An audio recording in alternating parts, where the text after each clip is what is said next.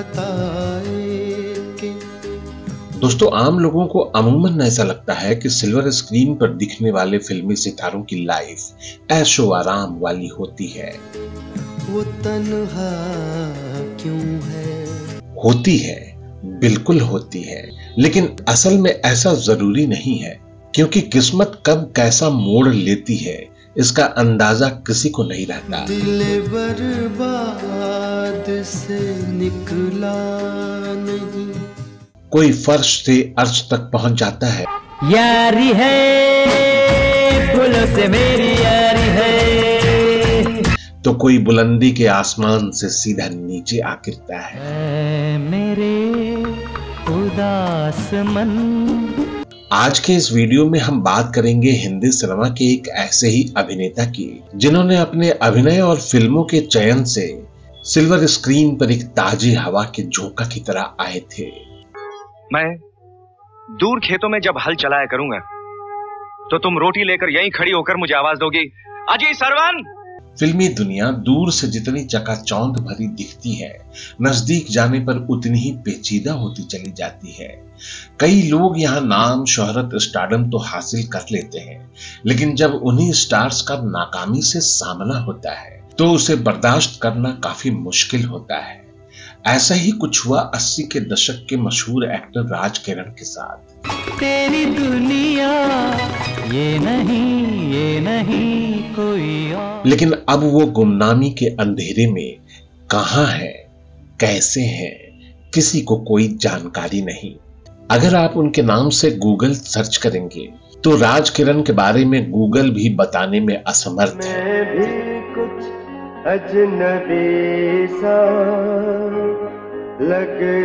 करीब सौ फ़िल्मों में नज़र आए राज किरण को हिंदी सिनेमा के हैंडसम और नम्र स्वभाव वाले दरियादिल एक्टर के रूप में जाना जाता था।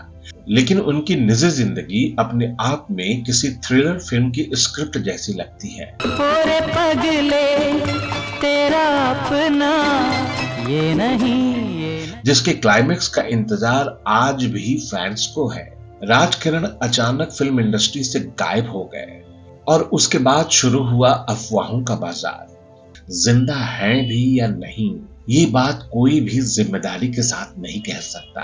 अक्सर ऐसा कहा जाता है कि हिंदी सिनेमा में दोस्त सिर्फ़ फ़िल्मों में होते हैं। रियल ज़िंदगी में वो दोस्ती बहुत कम देखने को मिलती है। लेकिन राजकिरण के मामले में ऐसी दोस्ती दिखी। अभिनेता ऋषि कपूर और दीप्ति नवल जैसे उनके कुछ दोस्त थे, जिन्होंने उन्हें ढूँढने की कोशिश की, लेकिन राजकिरण के परिवार ने उन्हें पूरे मामले से दूर रहने की हिदायत दे दी। क्या था पूरा मामला आज के इस वीडियो में हम जानेंगे राजकिरण के जीवन से जुड़ी उन तमाम बातों को। दीप्ति नवल ने अपने उस पोस्ट में लिखा था कि अपने फ़िल्म वर्ल्ड के एक दोस्त की तलाश कर रही हूँ। उसका नाम राज किरण है। हमारे पास उसकी कोई खबर नहीं है। आखिरी बार सुना था वो न्यूयॉर्क में कैब चला रहा है। किसी के पास उससे जुड़ी कोई खबर है तो प्लीज़ इत्तला करिए। लेकिन ऋषि कपूर ने उन्हें अमेरिका में ढूंढ निकाला है। इस वक्त राजकिरण अटलांटा के मेंटल अस्पताल में इलाज करवा रहे हैं। नमस्कार दोस्तों मैं हूँ विजय पांडे और आप देख रहे हैं golden moments with Vijay Pandey. Video में आगे बढ़ने से पहले आप हमारा चैनल सब्सक्राइब करना ना भूलें।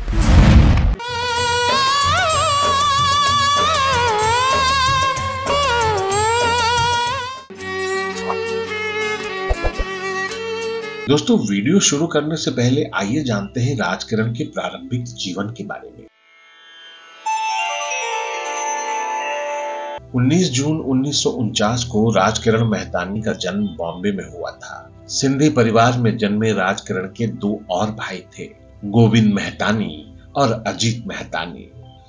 राजकिरण को बचपन से ही फ़िल्मों में आने का शौक था। राज किरण को 26 साल की उम्र में ही, कॉलेज के दिनों में ही निर्देशक बी आर इशारा ने अपनी फ़िल्म कागज़ की नाव में राजकिरण से डेब्यू करवाया था। हर जन्म में हमारा मिलन। इस फ़िल्म में उनकी हीरोइन थी सारिका जो कमल हसन की पूर्व पत्नी और श्रुति हसन की माँ है। मैं तुम्हें देवता दोस्तों ये फ़िल्म अभिनेत्री सारिका का भी डेब्यू था।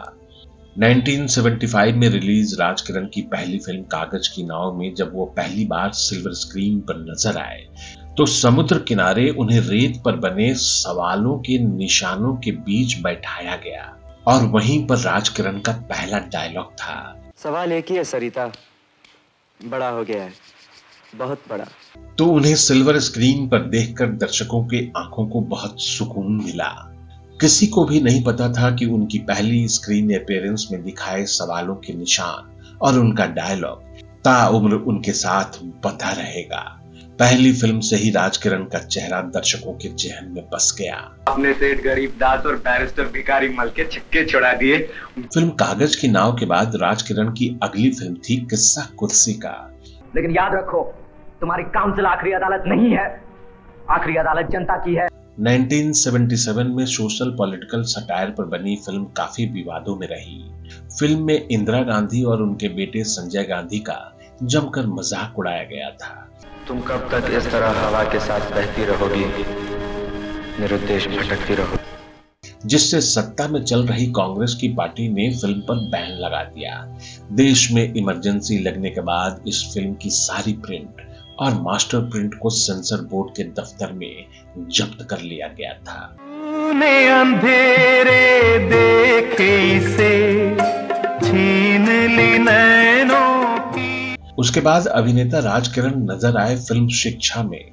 साल 1980 राजकिरण के करियर का एक सुनहरा दौर लेकर आया, क्योंकि इस साल उनकी पूरी आठ फ़िल्में रिलीज़ हुई। उन फ़िल्मों में बंबई का महाराजा, मान अभिमान, मनोकामना, नजराना प्यार का, पतिता, साजन मेरे, मैं साजन की, और ये कैसा इंसाफ। ये सारी फ़िल्में 1980 में ही रिलीज़ हुई। साल 1980 में ही राजकिरण एक ब्लॉकबस्टर फ़िल्म में नज़र आए। फ़िल्म का नाम था कर्ज।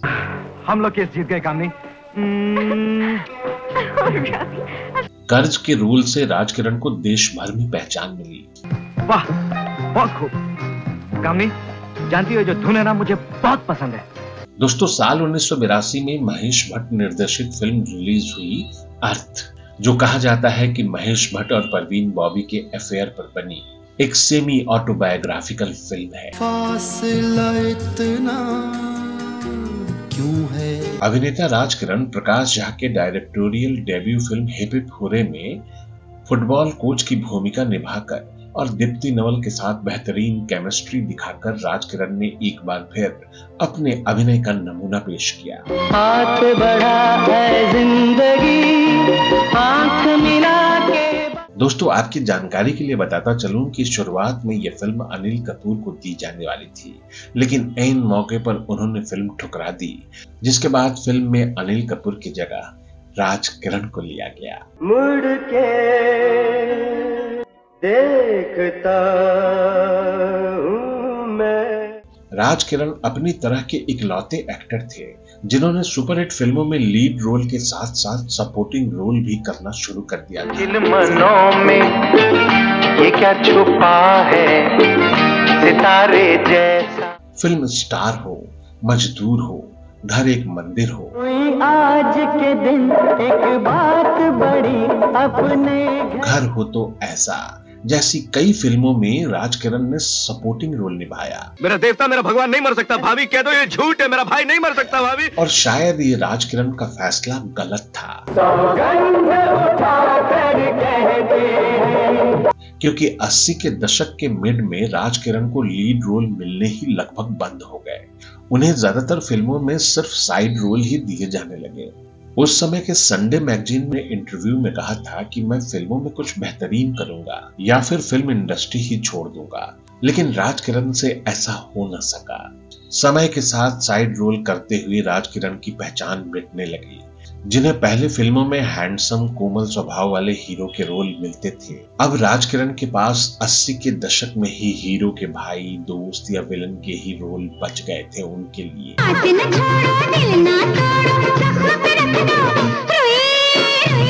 फ़िल्म में मिल रही नाकामी से राजकिरण लगातार चिंतित रहने लगे क्योंकि वो इस बात को पचा नहीं पा रहे थे कि उन्हें हीरो से साइड हीरो बना दिया गया जिससे वो मानसिक तनाव में रहने लगे थे।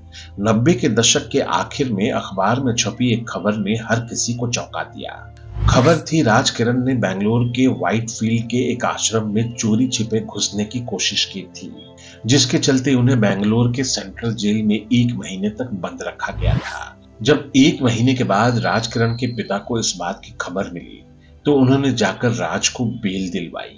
जेल से निकलने के बाद एक खबर बाहर आई कि कुछ महीने पहले उनकी पत्नी रूपा ने उन्हें छोड़ दिया था। इस सदमे में वो बॉम्बे छोड़कर बेंगलोर के आश्रम में रहना चाहती थी। लेकिन जब उन्होंने गैर कानूनी तरीके से दीवार फांदकर आश्रम में घुसने की कोशिश की तो वो पकड़े गए। उसी आश्रम के गार्ड्स ने उन्हें पुलिस के हवाले किया था। दोस्तों, साल उन्नीस में राजकिरण ने सेनेबिलिटीज मैगजीन को दिए एक इंटरव्यू में मदद की गुहार लगाई थी। मुझे ज़िंदा रहने के लिए मदद की ज़रूरत है। जब राजकिरण को पूरी तरीके से फ़िल्मों और टीवी में काम मिलना बंद हो गया तो राजकिरण अब गरीबी का सामना करने लगे। जब कोई रास्ता नहीं मिला तो राजकिरण ने काम की तलाश में अमेरिका जाकर बस गए। कुछ साल उन्होंने वहीं गुजारे। लेकिन बेंगलुरु के आश्रम वाले कांड में कोर्ट में केस चलने की वजह से उन्हें वहाँ नौकरी से निकाल दिया गया।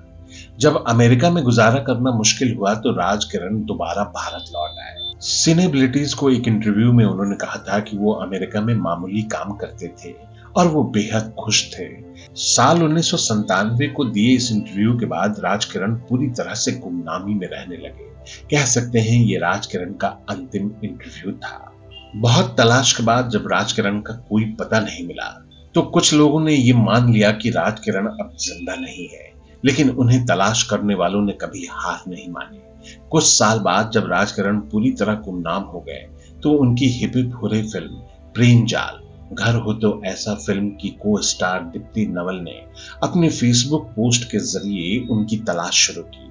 दीप्ति नवल ने अपने उस पोस्ट में लिखा था कि अपने फ़िल्म वर्ल्ड के एक दोस्त की तलाश कर रही हूँ। उसका नाम राज किरण है। हमारे पास उसकी कोई खबर नहीं है। आखिरी बार सुना था वो न्यूयॉर्क में कैब चला रहा है। किसी के पास उससे जुड़ी कोई खबर है तो प्लीज़ इत्तला करिए दीप्ति नवल के इस पोस्ट के बाद राज किरण को किसी को खबर नहीं मिली। साल 2011 में ऋषि कपूर जब न्यूयॉर्क गए थे तो दीप्ति नवल की पोस्ट से उन्हें पता लगा कि न्यूयॉर्क में राजकिरण है। लेकिन जब ऋषि कपूर ने न्यूयॉर्क पहुंचकर उनके भाई से संपर्क किया तो उन्होंने बताया कि राज किरण अटलांटा के पागल खाने में है। लेकिन ऋषि कपूर ने उन्हें अमेरिका में ढूंढ निकाला है। इस वक्त राजकिरण अटलांटा के मेंटल अस्पताल में इलाज करवा रहे हैं। जब ऋषि कपूर को तसल्ली नहीं मिली तो उन्होंने राज किरण से बात करवाने को कहा, लेकिन उनके भाइयों ने नंबर देने और बात करवाने से साफ़ इनकार कर दिया। ऋषि कपूर ने न्यूयॉर्क से लौटने के बाद टाइम्स ऑफ़ इंडिया से बातचीत में कहा था कि जब गोविंद मेहतानी ने बताया कि राज किरण अभी ज़िंदा हैं तो ये जानकर बहुत सुकून मिला। लेकिन उन्होंने बताया कि वो मानसिक बीमारी के चलते अटलांटा के पागल खाने में है। ये एक कामयाब एक्टर के बारे में सुनकर मुझे बुरा लगा। लेकिन ये सुनकर खुशी हुई कि वो ज़िंदा है। ऋषि कपूर के बयान सामने आने के बाद राज किरण की बेटी ऋषिका ने एक पब्लिक स्टेटमेंट जारी कर उनके दावे को खारिज कर दिया। राज किरण की बेटी ऋषिका ने बताया कि मेरे पापा अटलांटा में नहीं है। वो कहाँ है और किस हाल में है, ये पता लगाने की कोशिश जारी है। उनका परिवार आज भी प्राइवेट डिटेक्टिव न्यूयॉर्क पुलिस की मदद से राज किरण की तलाश कर रहा है। साल 2011 में जब दीप्ति नवल और ऋषि कपूर ने राज किरण की तलाश शुरू की तो हर जगह तो राज किरण एक बार फिर से सुर्खियों में आ गए। इसी बीच एक दिन ऋषि कपूर के पास राज किरण के बड़े भाई का कॉल आया और उस कॉल में ऋषि कपूर को एक तरीके से धमकाने की कोशिश की गई कि राज किरण और उनके पारिवारिक मामले से वो दूर ही रहे। संभवतः राज किरण के परिवार के इस रवैये से और अपने रेपुटेशन के खातिर ऋषि कपूर और दीप्ति नवल ने ना चाहते हुए भी राजकरण की तलाश बंद कर दी।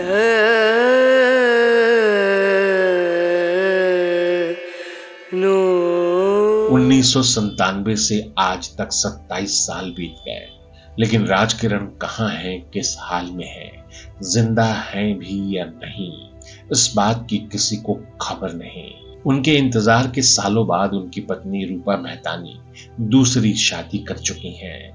प्यार का रिश्ता है जन्म का कहा जाता है कि हर सवाल का जवाब है।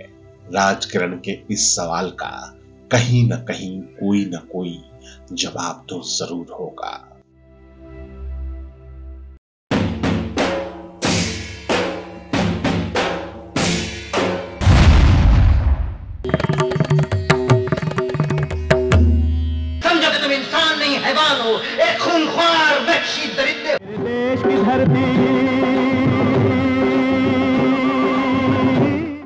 मनोज कुमार और दिलीप कुमार ने अपनी पूरी फिल्मी करियर में सिर्फ़ दो फ़िल्मों में ही साथ काम किया। पहली फ़िल्म थी आदमी और दूसरी फ़िल्म थी क्रांति। मेरा चना है अपनी मर्ज़ी का मर्ज़ी का भाई मर्ज़ी का। लेकिन फ़िल्म क्रांति के बाद ये दोनों एक्टर सिल्वर स्क्रीन पर कभी साथ नहीं आए। जिसकी पूजा मैं भगवान से पहले किया करता था। मर चुका है वो! खबरदार! क्योंकि इसी फ़िल्म में मनोज कुमार ने दिलीप कुमार के शान में एक गुस्ताखी कर दी थी। मनोज कुमार ने मीडिया के सामने अपनी फ़िल्म क्रांति के प्रमोशन में कुछ ऐसी बातें कही जो बात दिलीप कुमार साहब को नागवार लगी। कुल्हाड़ी में लकड़ी का दस्ता न होता तो लकड़ी के कटने का रास्ता न होता। दोस्तों हमारा ये वीडियो आपको कैसा लगा हमें कमेंट बॉक्स में ज़रूर बताइएगा। अगर आप इसी वीडियो के माध्यम से हमारे चैनल से जुड़े हैं तो हमारे चैनल को सब्सक्राइब करना ना भूलें। आप अपनी राय या फरमाइशें हमें ईमेल भी कर सकते हैं। हमारा ईमेल आईडी है golden moments with Vijay Pandey at the rate of Gmail dot com आप अपने इस दोस्त और होस्ट विजय पांडे को दीजिए विदा। अगले वीडियो में हम फिर हाजिर होंगे ऐसे ही किसी नायाब फनकार के नायाब किस्से को लेकर। तब तक के लिए नमस्कार, धन्यवाद, शुक्रिया।